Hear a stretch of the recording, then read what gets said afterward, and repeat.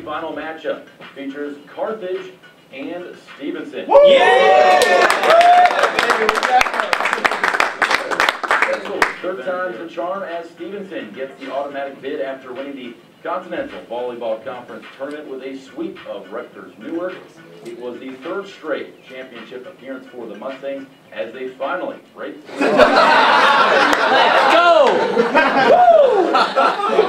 Yeah, they're the best. Tournament MVP, solid fifth in the nation in assists per set. Well, that will do it. All ten teams in. First round. All right, go ahead.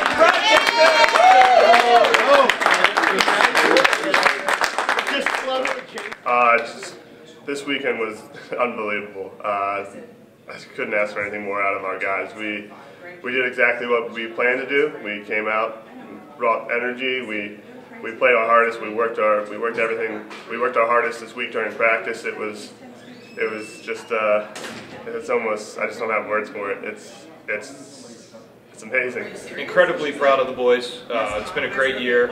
Um, we've literally made history for Stevenson. Uh, it's the first team we've ever had get to the NCAA tournament.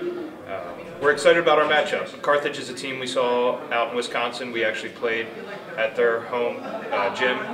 Uh, didn't go the way we wanted, but we took a lot of good things from that match. Um, so I think it's a it's a favorable matchup for us, uh, and I like our chances. I think this is a team that not can just only get to the tournament, but can really compete.